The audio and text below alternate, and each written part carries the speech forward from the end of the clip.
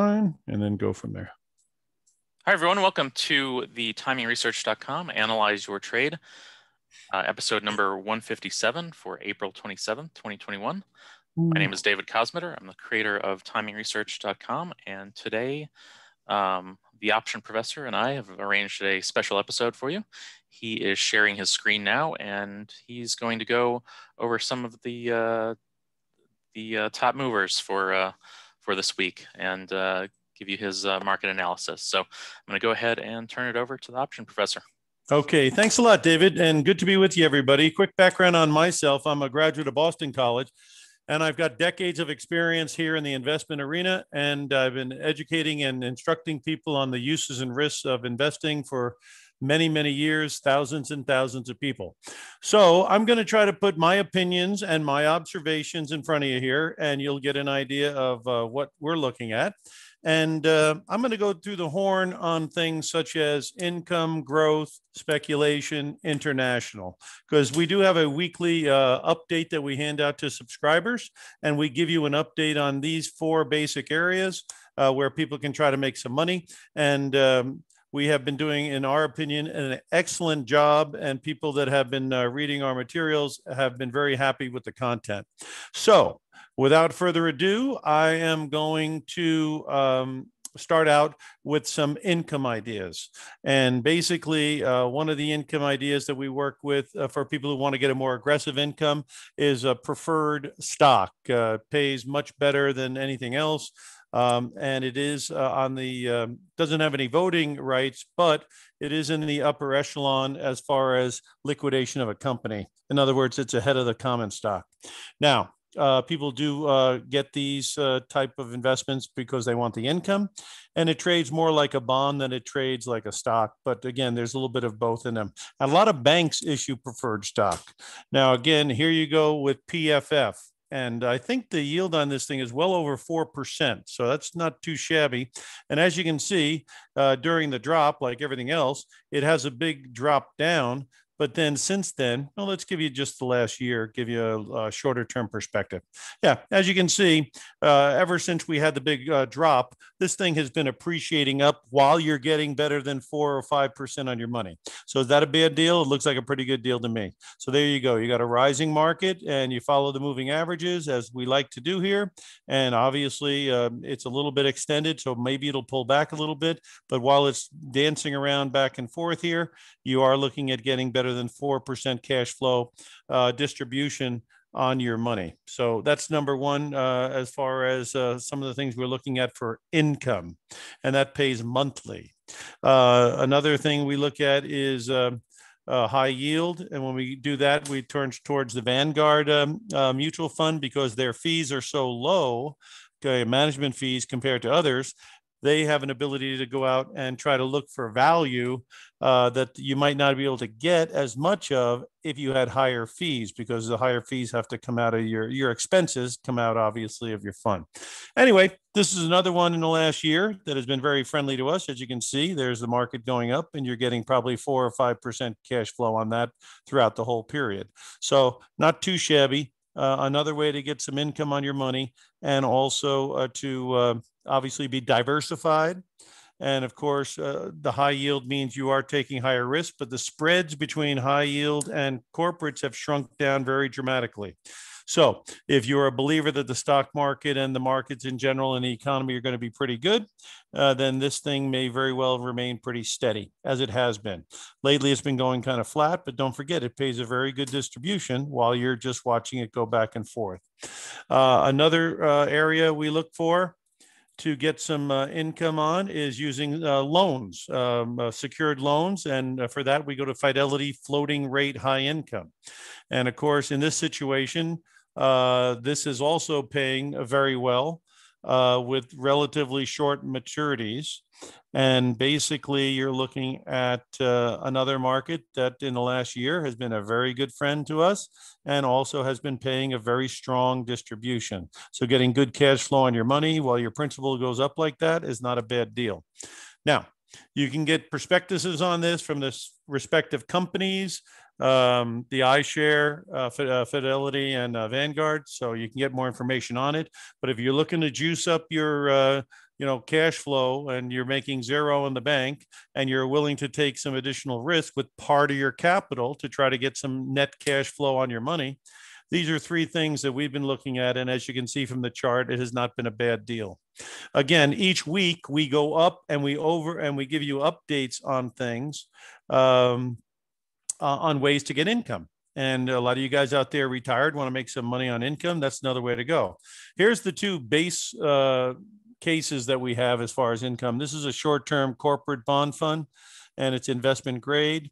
And you'll see this is a you know been paying nicely and it has been kind of going uh, pretty well we had the drop uh, we had a big jolt in the interest rate market but it only lost eight uh, eight or six or eight cents uh, on the nav and it's already recovering. And again during this period you're still making money on your cash flow coming in as far as the distribution. So that's uh, one of the uh, core places.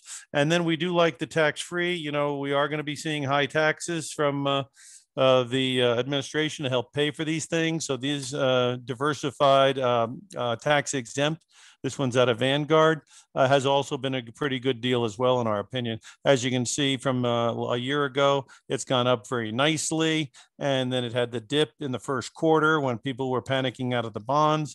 And then basically you're looking at this. You know, our view on fixed income is uh, there could be an inflationary shock coming down the road. Okay. We all know that because we've got a supply chains all bottled up and we got a lot of people out there wanting to buy stuff. So that creates a little bit of a tight supply demand dynamic. And then, of course, they can charge higher prices. But the reality is supply chains will be rectified. And in the longer term, you've got money supply going through the roof, which everybody hangs their hat on. Oh, the gold is going to go to $9,000 an ounce. Look at that money supply.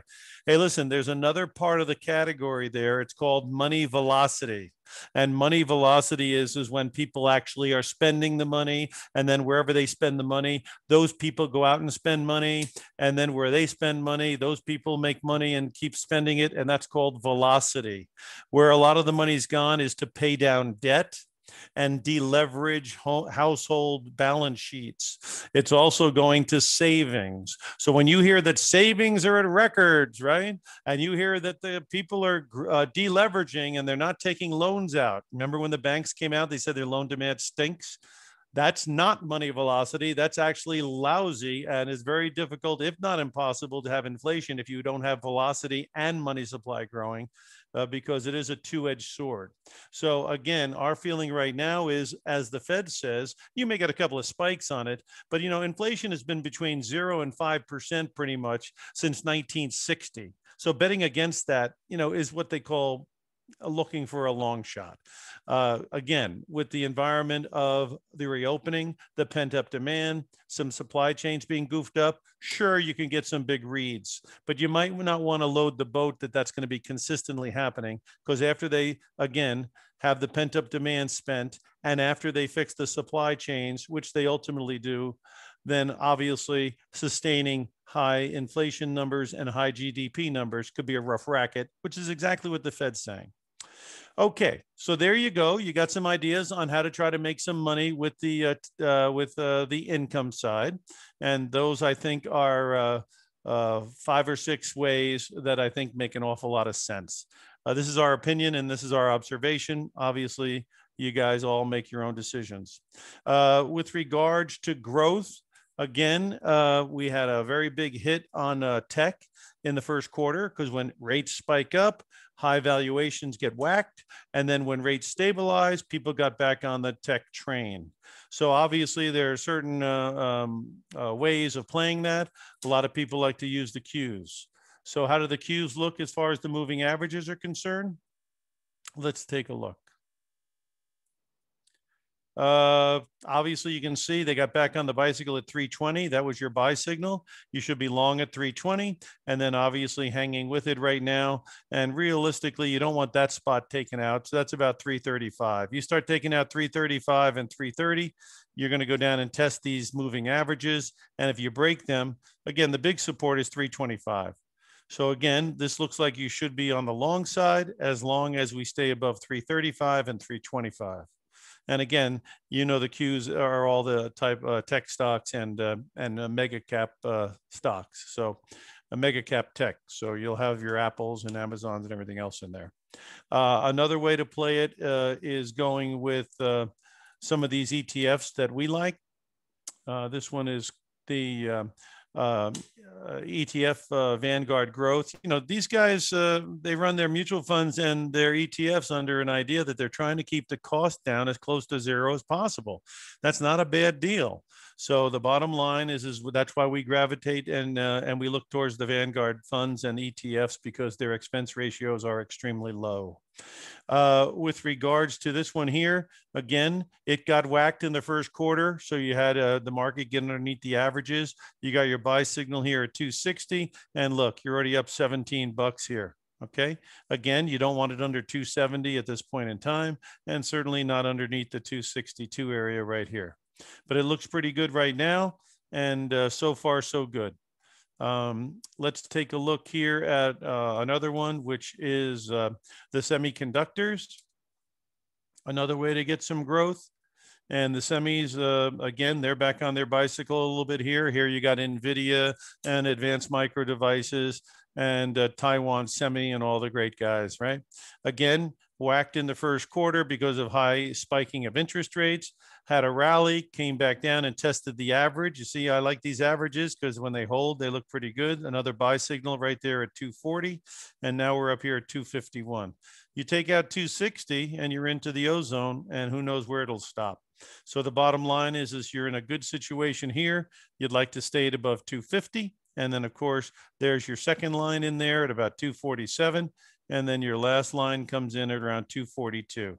They're all inverted to the upside, nothing wrong with that. Prices are above all three, nothing wrong with that.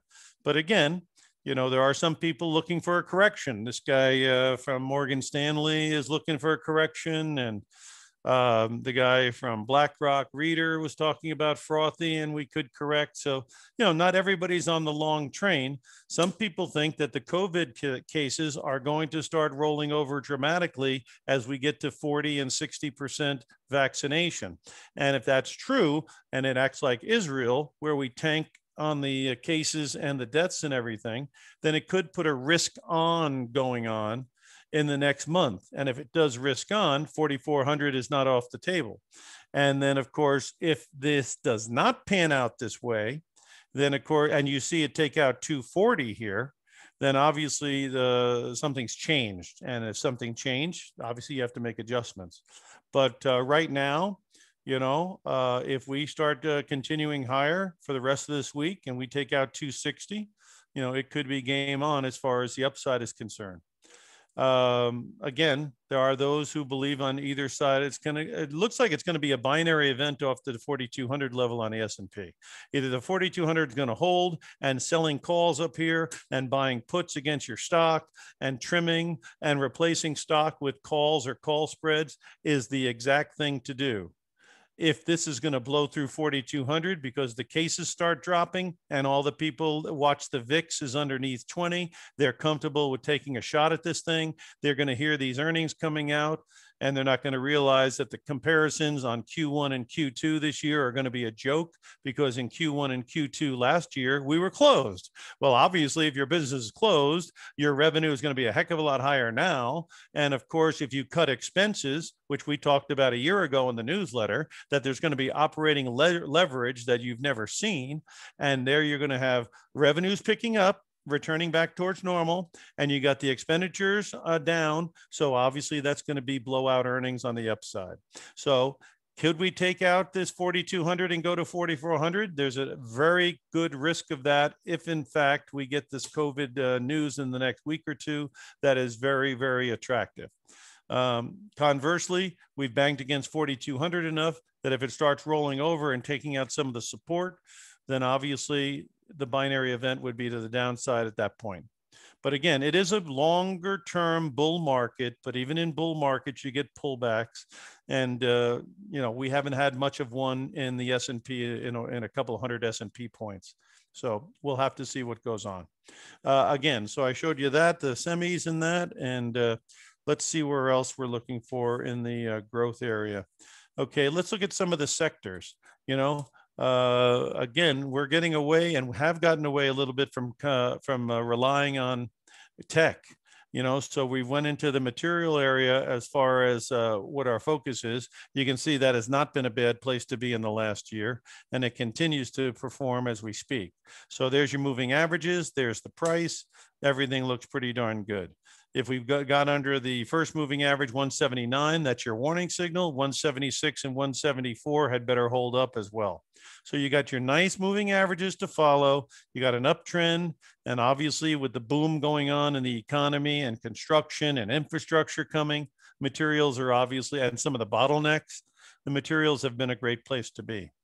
Another place has been the industrials, you know, your defense contractors and all your uh, Boeings and uh, Honeywells and all those kind of guys. Uh, here, uh, we're looking at another uh, market that's been absolutely fabulous to be involved. Here, you're diversified in this sector, so you're not holding on to just one company. And then there you go, there you go, there you go. So looking great. And again, unless it starts breaking down, the path of least resistance remains up. You know, the transports have been doing great. And the reason for that is why? because there's a lot of people, a lot of things being bought online. You saw UPS blow it out today. And how many, you know, ways can you transport things? There's only a finite amount of ways, right? You got railroads, but there's not unlimited railroads. You've got trucking. Basically, it's FedEx and UPS, and everybody else is playing catch up and then basically you've got uh, you know JB Hunt and stuff like that. So the bottom line is is that this has been a great place to be. And as you can see, the economy comes back, the transports go up. You got more people delivering packages, the transports go up. It's been a great place to be. IYT is the way you play that. Small caps. This is the one where if we're going to go to 4400 on the S&P, this thing could get involved in a very big way. And this one is called the Russell. Well, I'll just give you the uh, the ETF the Russell. This is small caps, okay? And if you look at small caps here, you can see that it has been a very good ride. Now, again, it got nailed here, but is it above the moving averages now? And it's not that far above it. So this thing starts taking out 234, and now you're into uncharted territory again. And right now, as long as it stays above these three lines, which is anywhere between 221 and 224 ballpark figures, uh, you know, you could get taken off pretty good uh, support should be on any kind of pullback around these highs at 225. But right now, if there is going to be a stampede into the markets, this has a lot of the epicenter stocks, which means the reopening stocks. And these are the companies that could benefit very well if this pent up demand and this COVID news all come together because this has been very sensitive to the COVID news. And when COVID improves, boom, there you go In fact, this dip happened about the time India was having all their trouble as well. But again, it's back on the bicycle. It's not very far from the moving averages. We suggest very strongly keep an eye on that one. Um, what else do we got going for you here on the growth side? Let's take a look. Well, of course, um, you've got um, real estate. This is uh, REITs, and also it has some of the um, uh, cell towers in it, like American Tower and Crown Castle, those kind of guys. Not a bad place to be, right? And it's been really appreciating lately. So this thing pays a good dividend. It's been going up nicely. It's above all its moving averages. Again, real estate has not been a bad place to be lately. And in the last uh, month or two, it's really starting to accelerate because people, I think, are finding out that the world didn't come to an end. Malls are not going totally out of business. Data centers are going to be needed, and other and other real estate uh, things are going to go on. And like some of the banks said, you can't mentor people over the phone as well as you can in person. So there are some businesses that are going to want to get together in their offices because they just don't want to work in their pajamas the rest of their life. So again, this is making a comeback after being very much under pressure for a long time and going nowhere. It has definitely gotten back on the bicycle. Um, another two, of course, that we all know of is the financials, something we talked about in the newsletter a year ago. I mean, come on, Wells Fargo at 20 bucks, 25 bucks. What are they going to go out of business? It's a gimme. Now, now it's double that, you know? So here you go. Uh, you've had a nice trend on this thing all the way up all the way up. And these things pay dividends too. So there you go. You got a pretty nice rising trend there. And right now, there's nothing showing that it's changed at all. Um, the other one is uh, energy. What are we going to go to electric cars tomorrow? I don't think so. So are they going to need energy? Yeah. Is there a lot of energy out there? Let's think about it. Did they close a lot of rigs? Yeah. Did they uh, shut down fracking? Yeah. Is private equity who got totally destroyed uh, running in there to try to put money into uh, fossil fuels? Probably not.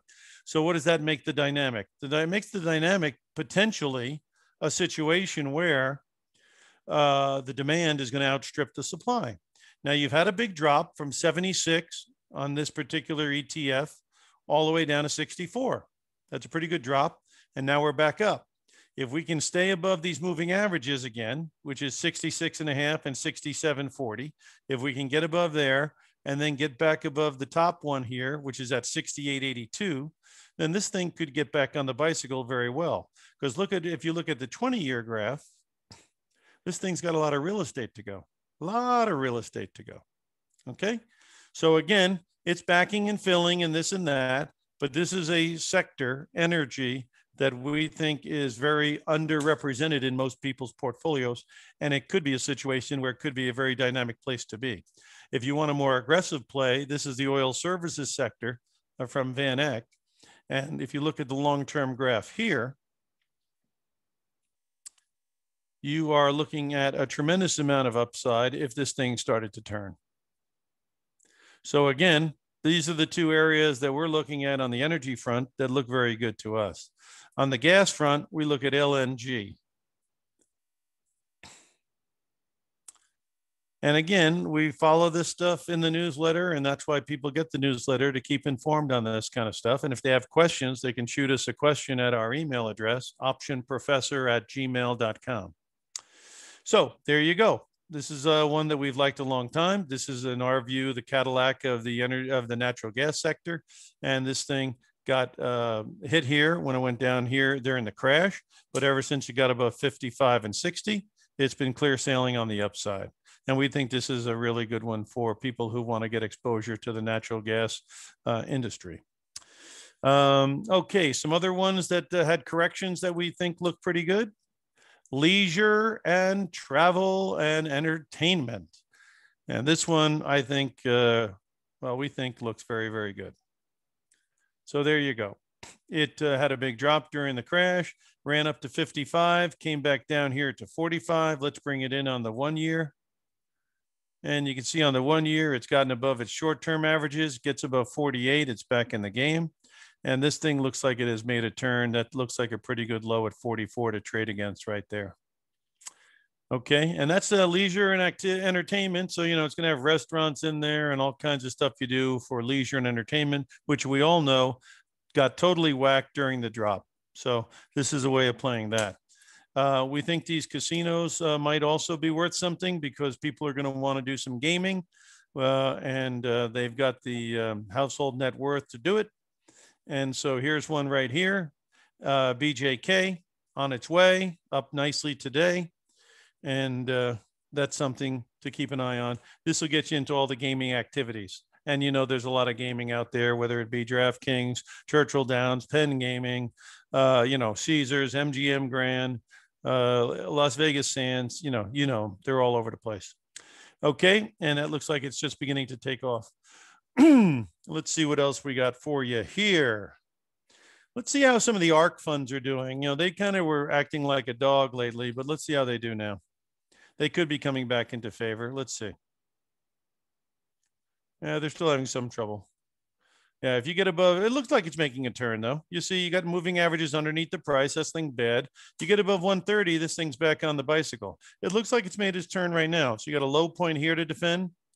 And again, if you can take out 130, that would be, you know, kind of a confirmation that it looks like uh, that money's coming back in. Um, another one is their medical one. And uh, genomic revolution. And this again is just turning as well. So they're looking like they could be getting back on the bicycle, and everybody's talking about fintech. And so they got one for that too.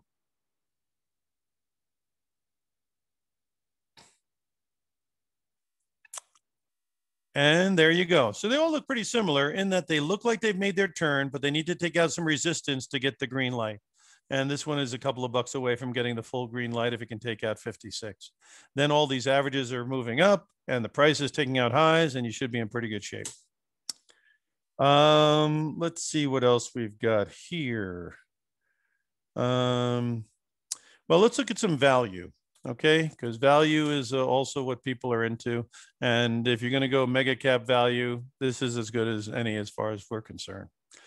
Okay and as you can see here been a very good trend value all the way up all the way up all the way up accelerating in the last few months right?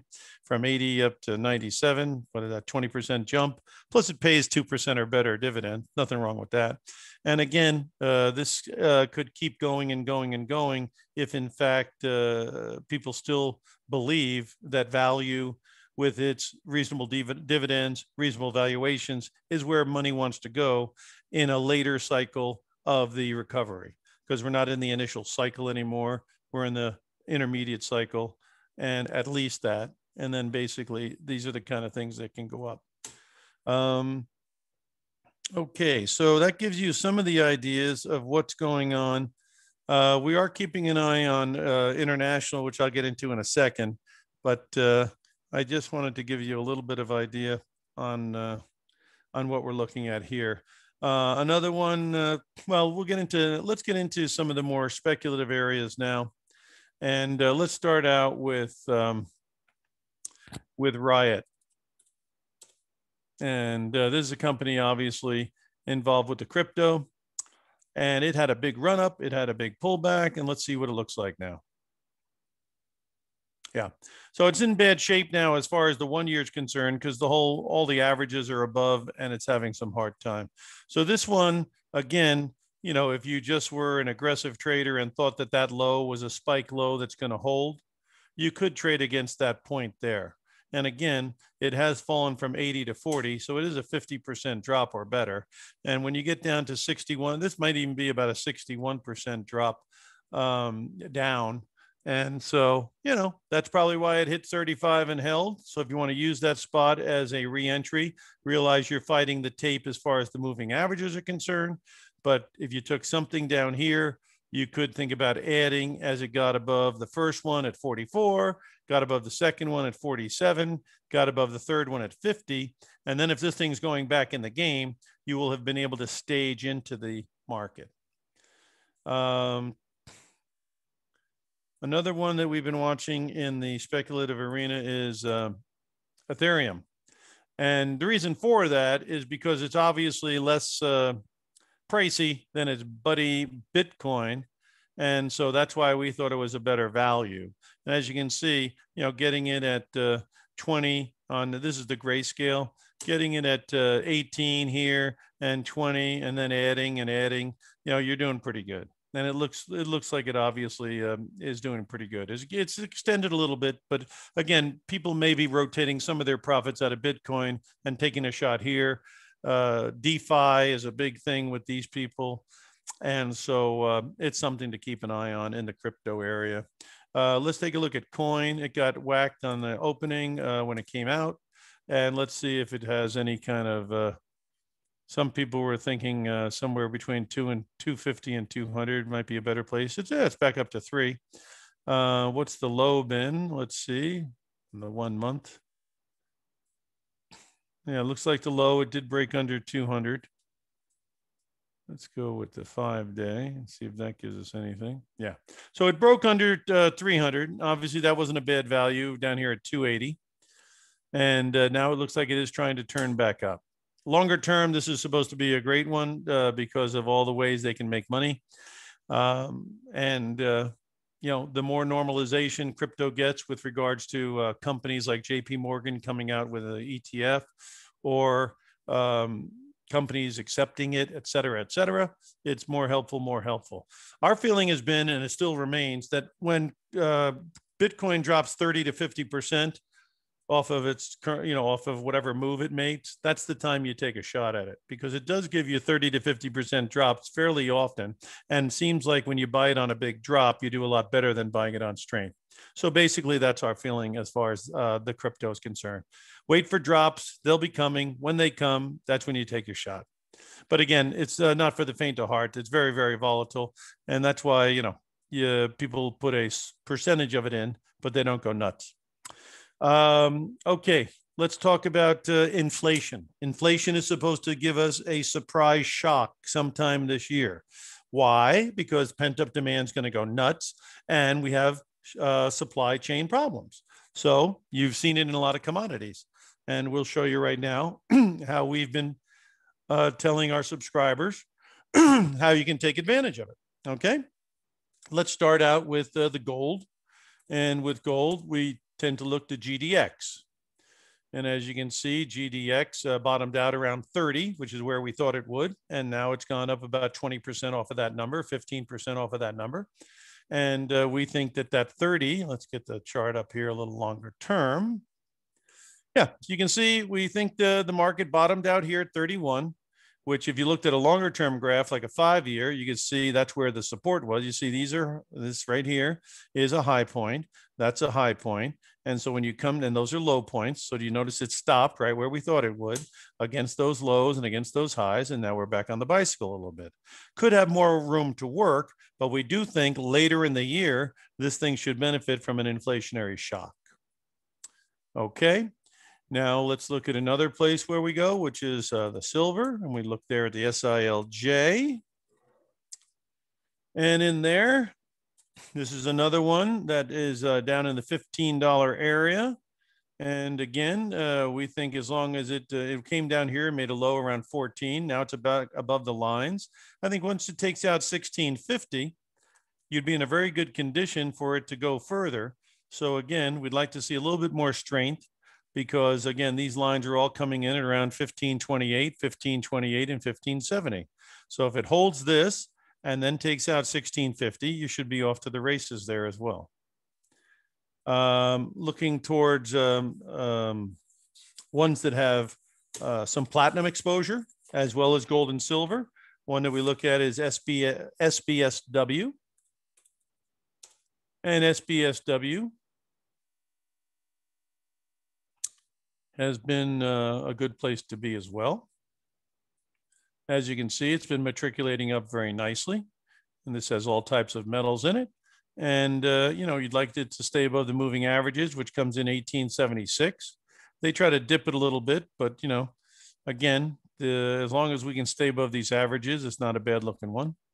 And then, uh, of course, uh, this one here, we showed people when it was 10 bucks uh, a share a year ago. And uh, this has not been a bad place to be either. This is Freeport McMoRan. So as you can see, it's trended nice. And again, we talked it a year ago, all right? What's a year ago? Uh, actually, even more than that. Uh, but here you go. You're, uh, you're in here um, in August of 2020. So that's even what, six months ago, seven months ago? And look at that run from 12 all the way up. Okay. Now, again, I try to use the moving average to make sure the trend is still intact. And the key is, are the moving averages rising? As long as the blue line continues to rise, uh, we should be in good shape because even when it gets penetrated, if it's still rising, it can get going. Obviously, this is a very advanced stage for this. It only doesn't look advanced if you pull the curtain back and you see where it used to be years ago. So obviously, if it's going to keep going, you know, but it also at this 40 number does have some resistance. So again, with this kind of an overbought situation, uh, a sane man would have to say, try to buy it on a dip. Another one that we uh, showed people that was a big winner here is um, the one out of Peru. That this thing paid a dividend of like two or three percent, which is not a bad thing to get on your money while you're watching this kind of appreciation. I mean, you're getting appreciation and uh, and income. Nothing wrong with that, right? And this thing went nuts as soon as it got above 40, went all the way to 80. Again, like the other one, it's extended. So you got to be careful up here. But again, uh, this one has not been a bad one either. And uh, this one is actually making all time highs, whereas Freeport has not. But again, they're extended. And, you know, to come in with a new position at this extended level, you know, is dangerous. Um, and then uh, some of the industrial metal, Cleveland Cliffs. Look at this one.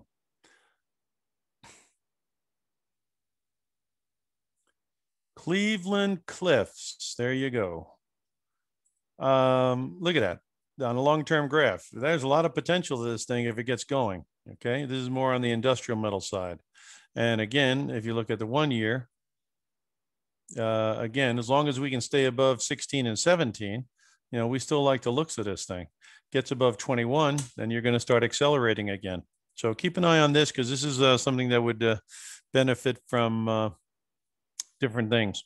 And uh, those of you who are looking to try to get a spot in uh, in infrastructure, PAVE is the way to go in our view. Uh, gives you a one-stop shop, and uh, it's been hanging in there pretty good. So if you think there's a big future, all this infrastructure talk, this thing's already been a very good winner for the last year, right? Boom, boom, boom, boom, boom, and it's above the moving average, so you know where your guideline is there uh, you wouldn't want it underneath 25 bucks and it's at 26 bucks not a big difference. And uh, so you don't have too much rope to give it and if there's a future maybe this thing could participate. So that's your one-stop shop if you want to hit the infrastructure uh, companies. Um, another one uh, that uh, can be good and it's a little speculative because the the companies are all debt ridden now and uh, we don't know if they're going to be able to actually meet the supply if it comes out. So this is jets. This is all your airlines. See, they broke it down pretty good here. If it gets back above 27, we'd like that as well because we are going to be coming into a better demand season. And again, uh, this is a one-stop shop for your airlines. But you definitely want to get some strength out of this thing because it has crossed over all these lines, and that's not the greatest setup.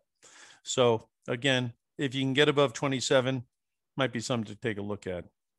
Um, lithium. You know, these batteries need lithium. So LIT is a one-stop shop for your lithium and batteries. And what do you got here on lithium? Uh, you got something that got hit in the first quarter like everything else did. Now it's back on the bicycle. So as long as we stay above 60, looks okay. you got all the averages merging right around 60. So at least you know where your line in the sand is. And again, if this is really going to have the future that it looked like it had back here, it could be getting back on the bicycle. So keep an eye on this one because, you know, batteries and lithium and all that stuff, you know, seems to be where people are focused on for people that are looking at long term growth. Um, we were also looking at cybersecurity. So we're looking at FireEye. And um, FireEye had that breach, you know, and then the uh, thing came down. But now it looks like it's trying to get back on the bicycle, as you can see there. So your risk between where it is and the moving averages isn't much. And if it can start taking out 21, 22, this thing could start accelerating because it already showed you it could go. Then it had a pullback. Again, they had bad news. The bad news is now behind them. And now it looks like the reality of cybersecurity being needed in all types of forms might be coming back into the into the into the fort. Um, I had an associate tell me a little bit about uh, storage. You know, uh, people having to move, they need to store things. So uh, one of the, a couple of the big stocks in there have been great. And uh, again, maybe people need storage because they bought so much stuff uh, during the lockdown, they can't store it all. This thing is, is an advanced. So it has been great in the last, what, a few months here, a couple of months. Look at it. Boom. Actually, I think it's about one month so obviously there's a real uh, boom in the public storage uh, business. A couple of other ones you can keep an eye on is uh, EXR, which you can see there is pretty much a horse of a similar color. And uh, let's see what you got there. Yeah, same thing, looking great. Could have a pullback, but the trend looks like it's pretty darn good. You're not early to the party, but the party may last longer than you think because of uh, the real estate uh, activity. Uh, and there's only a limited amount of uh, storage space. And uh, so again, that limited supply and great demand, you see what the price does, right? Um, and again, uh, I don't know if I, oh, I showed you the transportation, you got to see that. And then we did show you the metals and that. Okay, what I'm gonna do now, I think, well, uh, some people were thinking uh, some of these uh, drug companies were going to be pretty good. Let's take a look at Amgen. Amgen needs to cl- uh, clear, I think, 266. And if it does that, or maybe 260, and then if it does, yeah, if it clears 260, I think you're in the you're in the ballpark. It obviously looks like it's turned. It obviously looks like it's in an uptrend. And this is a great company. But in the post market here, it's down 12. So you can see it's filling in all the way down to this gap here. They probably announced earnings, and obviously the earnings didn't come out so good. So again, this is a classic case of if you waited for the breakout of 260, you would have paid more but you would have paid more on its way to 270. Whereas if you try to buy it before it breaks out to 260, you can end up buying it at 255 and ending up holding the bag at 243 if the news does not hold. So obviously, one of the reasons why I was having trouble making highs is the news was coming out, and the news obviously was not great. Okay, um, let's just see what else do we have here. Well, this was one that I wanted to see how it was doing. iPay. This is one with mobile payments, and you know this is a big thing, mobile payments, and you can see from the chart it has had a very, very good run. So let's take a look and see what it looks like now yeah, it had a drop down into the 66 area. And now it's back on the bicycle. Again, um, this thing here uh, is part of the big movement uh, for mobile payments. And obviously, this is uh, not a bad one to be in. It's a one stop shop for all the different mobile payment uh, stocks. So keep an eye on that one as well. All right, let's turn towards international, and then I'm going to get into the commodities. Um, international, okay. Here's what we were thinking. Six months ago, the US was in a big mess and they didn't have the vaccine yet, and everyone was locked down, right? So we were thinking since the six month uh, discounting of the market we thought that the value was a tremendous value, was a tremendous bargain then, because we thought growth had already obviously discounted and gone up tremendously. Plus, the interest rate environment was changing. We were getting a steepening of the yield curve, which means what? Which means the growth stocks that have these earnings that they're discounting out into eternity have to be revaluated. And that's going to tighten or compress the valuation. And then, bam, you're going to get whacked in tech. But value likes to have uh, the steepening yield curve. Things like banks, where they loan long and they and uh, they bar uh, they uh, they uh, pay interest on short-term deposits, which are at zero, and then they loan longer term, which went way up sharply in the Q1. And again, that was the whole thing we talked about back in September to the people in the newsletter. Okay, so the bottom line is, is that was the place to be. Banks went nuts, energy went nuts, uh, value companies went nuts. Um, uh, you saw industrials and materials went nuts, and these are the guys that benefit from a steepening yield curve. Okay, now international. You know, Europe is having trouble getting their vaccine squared away, but they're going to get it squared away, in our view. And it's going to happen by Labor Day, like we're going to be up and running by July 4th. After us is going to become Europe. And after that is going to come emerging market by the end of the year. So whatever's going on in India now, we anticipate these emerging markets will get things resolved by the end of the year. So what do you do if you think that's the case? What you do is you start looking at things in Europe. And so what can you see in Europe? Because that's the next game in town. And you want to skate where the puck is going. So the financials what do you think banks in Europe are going to do if they do a lot of uh, stimulus, which they're talking about doing? Germany and France just came out and said they're going to spend a bunch of money to get things going. Well, what do you think happened to our banks when we started spending a lot of money to get things going? Our banks went nuts on the upside. I'm anticipating that you're going to see European financials do very well. They've already done very well, but there's more to come. And these are a one stop shop for the uh, financials in Europe. Okay. And uh, the next one uh, is just a general Europe fund ETF that gets you a one stop shop into all the different European stocks that have pretty darn good uh, valuations. And uh, they probably have a, a very good future ahead of them if they come out and they do a lot of stimulus, which it seems like they're going to do. So, also, when you're thinking international, let's use our common sense.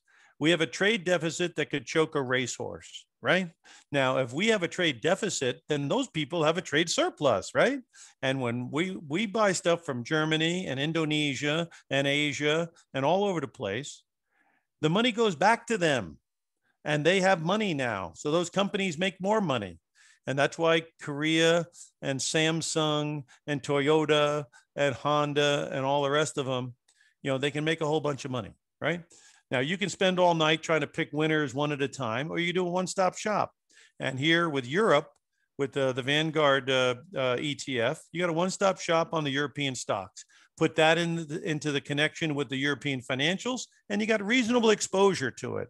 And then in six months, if we do see a big robust thing going on in Europe and these things take off, you will have laid your foundation now. Uh, moving averages are where they are, so you know where your get out points would be, right there. Okay, so that's Europe. What else do you have going on? Well, you've got China and uh, you've got uh, Asia. And so I'll show you a couple of different ways where you can take advantage of emerging markets. And this one here is called um, uh, the emerging market from Vanguard. And as you can see, uh, it got hit in the first quarter, right? And now it's been going what? Turning up. So you know where your moving averages are, you know where the price is. And our belief is by the end of the year, this won't be here, it'll be up in the white zone. Okay. And that's your one stop shop to get emerging market exposure. Uh, another way to get emerging market exposure is, um, uh, excuse me, uh, to get expo. Well, uh, you can get uh, exposure in um, Asia in this particular one. This has a lot of uh, J- Japan and Korea in it. Pacific, it's called. And uh, you can see this one also has been doing pretty good lately. And uh, it looks like it, if it can get above 84, you know, you should be off to the races pretty good here. It's kind of hanging in there. Now, Japan and uh, and Korea already had bigger moves than some of the other ones, right? So that's why they're a little more advanced. So in this particular case, the averages are very close to where the price is and even that low is pretty close to where the price is. But then again, if you can start taking out these highs, then you have a thing called momentum. And we all know momentum is your friend if you're on the right side of it. So keep an eye on this. This is more from your Pacific, which is your Australia and your uh, uh, Japan and Korea and stuff like that. Okay. And then you can try to get income on your money by buying international stocks that pay dividends. And this thing pays a darn good dividend. Go check out the uh, the distribution. You'll find it's pretty darn impressive. And this gives you two things. It gives you international exposure, which obviously has been a good place to be here, going from 52 to 66. But it also gives you um, it also gives you uh, cash flow, income, dividends, and that's why people get into it. So again, that's another way to do it with regards to uh, uh, international. So I gave you a little bit of Europe. I give you now. You also got Latin America. Let's not forget those guys. And there you go with uh, either uh, Mexico, which uh, you'll see has been doing pretty darn good. Again, they've got a trade surplus with us too, right? And uh, you can see, you know, ever since it, it, had a problem in the first quarter, then it comes starts coming back. So once it broke above this 42 level, you had your buy thing. Right now, you definitely want it staying above the 40, four and a half for a 45 area. So you're not that far away. And uh, over time, if these guys continue to do their thing, it's very possible you'd be able to see some appreciation here. And then uh, you look at, and then of course, you know, uh, if we do international, um, uh, shall we say, uh, manufacturing, a lot of people are talking about putting it into Mexico so they could, uh, so they could um, you know, be closer connected to us, not everything, you know, 23 uh, hours away by flight, right? Uh, this is Brazil. Brazil's having a lot of trouble, but they're turning it around a little bit here. Uh, there you go. Got a buy signal right there at 33. Looks pretty good. Highs were 38. As long as we can stay above these moving averages, you got to think there could be some potential there. Uh, this is a very big company with natural country with natural resources, and uh, you know they uh, they have some uh, issues, but uh, that's why it's emerging market, and that's why it's probably not going to occur till later in the year, right? Right.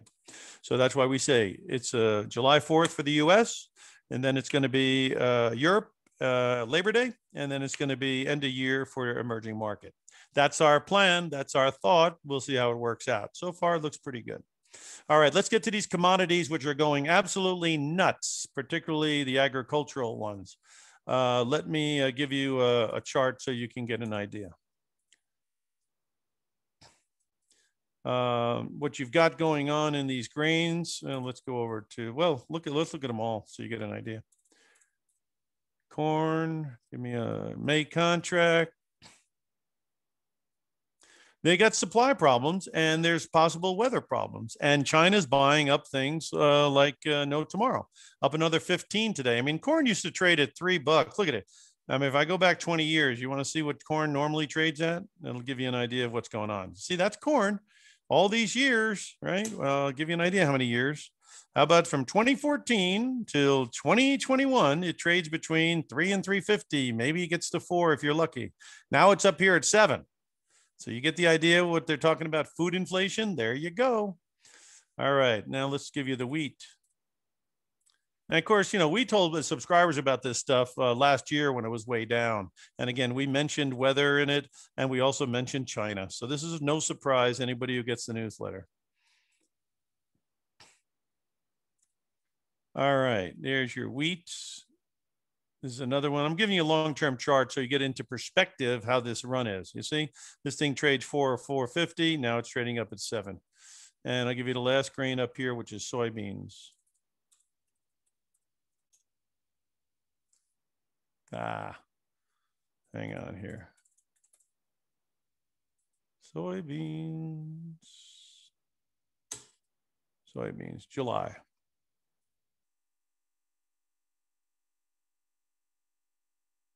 Again, we were telling people about this eight, nine, ten dollars a bushel. So you know, you see eight, nine. See where you get the buy signal here, nine. You know, that's where you want to get in, and here is where you want to uh, celebrate. Okay, so big, big runs. Uh, how do you play uh, grains? You can use an ETF called DBA. And DBA is an agricultural uh, ETF from Invesco. And as you can see, this is what we've been telling people about. And as you can see, it's been matriculating to the upside very nicely. And uh, if you want exposure to the agricultural sector, this is a way of doing that with an ETF. Okay, uh, let me show you a couple of other ones here. I already told you about the metals and we talked about oil. So let's talk about a couple of ones that you might not be familiar with. And this is why you get the newsletter to get familiar with things that you're not familiar with, right? Okay, so uh, this is coffee for March of, uh, well, this is a year out. Let's see if I can get something on a year out.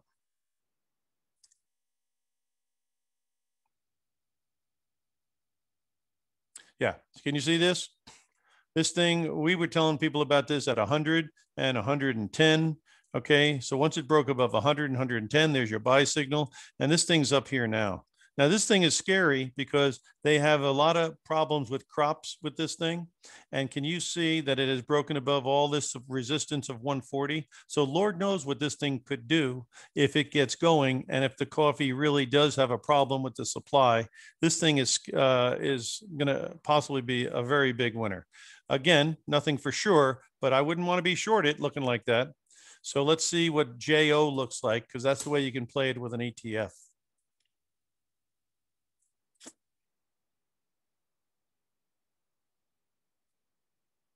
And as you can see, this thing's going pretty good. All your moving averages are at 35, so you definitely don't want it under 35.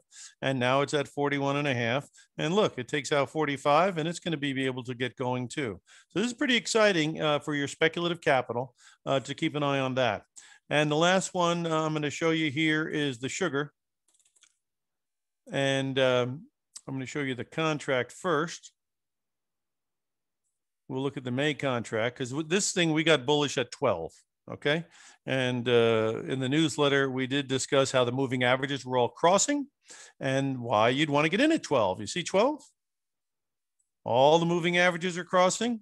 Ah, get back down here. Right? All the moving averages are crossing. And so there you get your signal. And then it runs up here, pulls back to the moving averages, does not take them out. Now we're back up here. If we can take out this area here, which is uh, it looks like uh, 18 and change. I mean, you know, this is another one that can go wherever it wants to go.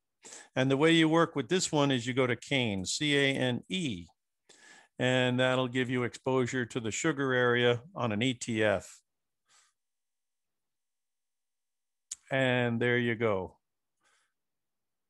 Looks like it's going someplace now, right? Just blew out all the highs, looking pretty good. Moving averages are all here. It would be nice if they all start crossing. So you could still get some back and forth action here, but this thing does look like it does have a nice trend going to the upside. But again, pullbacks can happen even in bull markets.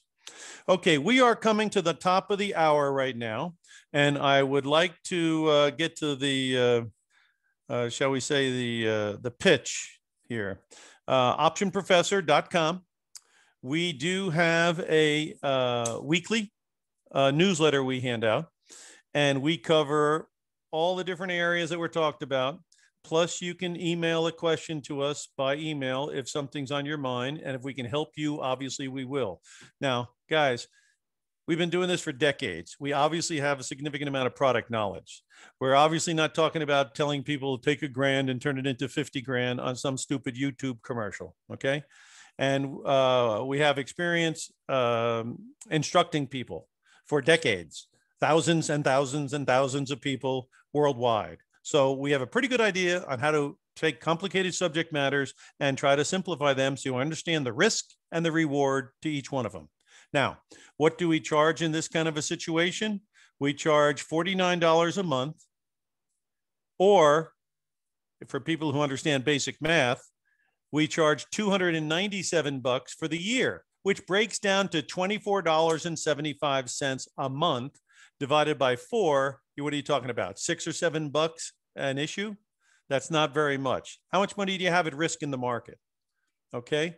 Would it be nice to be able to shoot a question over to somebody who has no axe to grind, who has no side in the game to try to give you an independent opinion and observation so that you can put it into part of your research and see if it might be helpful?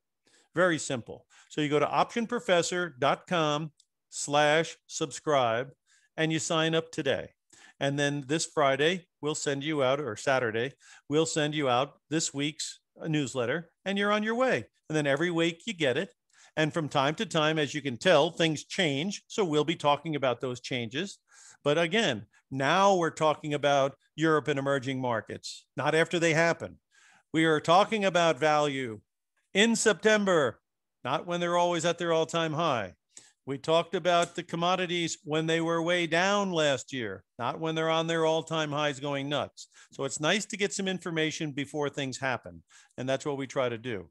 Because we have familiarity with options, we also talk about hedging, which means what? Your covered call writing, your collar strategies, your um, uh, married puts, your replacement strategies using calls and call spreads, and trimming. We also talk about how if you have the money in your account and you'd like to try to buy the stock at a discount and get paid a premium at the same time, we talk about fully paid put writing. We also know how spreads work. They have all these wonderful comments. It's an iron condor. It's a butterfly. It's an iron butterfly. Listen, we know what those mean and we know how to turn them into layman's language so you understand the use and the risk of the tactic. And if you have questions on adjusting your position, we obviously uh, know something about that as well. So there's an awful lot we're bringing to the table. Uh, 49 bucks a month, if you just want to take a look at it for one month, is peanuts. And uh, the yearly rate of 24.75 per month is ridiculous as well. Because again, the amount of knowledge and experience that we put into the letter is uh, is fantastic. So again, it's option O P T I O N professor P-R-O-F-E-S-S-O-R dot com slash subscribe. You put your information there, we'll have your email, and then you're up and running on Friday when we come out with the new letter. Okay, it's great to be with you. Uh, it's 202, well, wherever you are, it's two minutes after the hour. And uh, this is optionprofessor.com and we're very happy that you showed up. We certainly gave a, a, full effort today to go through the wide variety of the markets. And again, take advantage of the newsletter at these current rates because these rates are subject to change. And so locking them in while they're very low here is a pretty good idea. All right, David, I'm sending it back to you. And again, thanks everybody. We'll be talking to you soon, sometime down the road. All right, tons of good info today. So just a quick reminder for everyone, be sure to subscribe to Timing Research on YouTube and your favorite podcast network. You can also go to timingresearch.com to get access to uh, any of the past sh uh, shows or events, uh, as well as this one as soon as I can get it posted. And uh, just want to thank uh, guests again for today, the option professor of uh, optionprofessor.com. So be sure to sure to go to optionprofessor.com slash subscribe and, and check out his uh, weekly newsletter. Thanks, everyone.